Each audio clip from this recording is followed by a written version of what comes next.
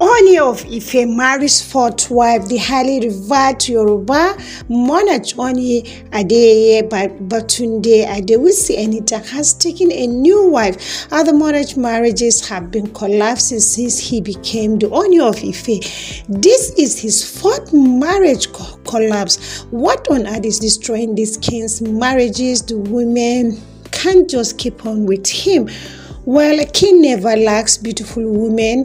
Welcome to S News. Uh, the new and eloquent new wife of Ooni of Ife is Mariam Anako. She is from Kogi State. The marriage was officially unveiled at the Palace of Ile Ife on Wednesday.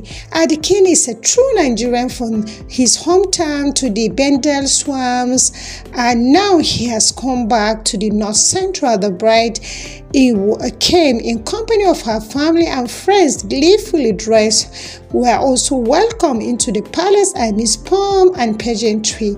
As the new development was also confirmed by Moses Olafare who is the director of media publicity to the Onion of Ife on Tuesday night, 6 September 2022.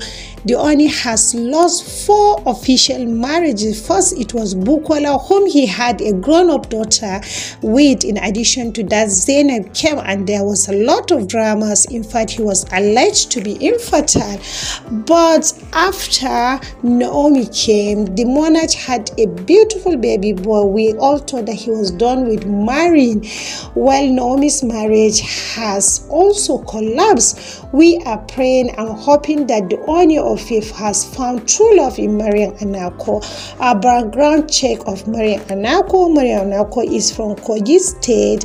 Uh, the bride is Ebira by tribe. The bride is also a top management executive administrative manager of Nest Oil Limited, a Nigerian largest indigenous engineering procurement and construction and commissioning company EPCC, wishing the Ooni and Mariam Anako a happy married life. Well, we don't know what is making the owner of Ife. He's just 40 years. In his 40s, not just for 40s, he has not reached 50 years, but he has married four consecutive times.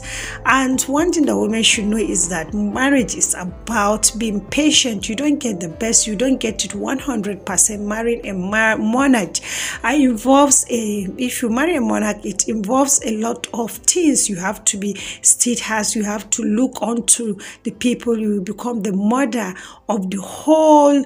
Um, uh, uh, state. So I don't see why the marriages are collapsing. We don't know whether there is an internal problem between the owner and all his wife. This his marriage continue to collapse. We don't know what is really the truth about his marriage is collapsing and collapsing and collapsing.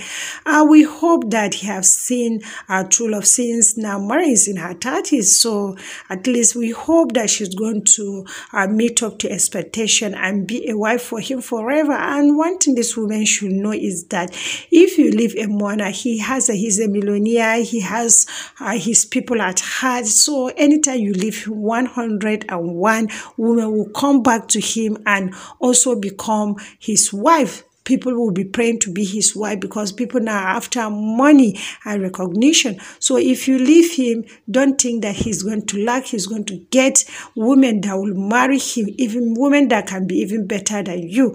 So we are hoping that uh, uh, the owner of Ife has finally found love in Mariam so that he can start to let him be an example to the people of the Yoruba land. What are your views about the fourth marriage of the owner of Ife? Share it by commenting below. Don't forget to like, share, and follow S News. Thank you.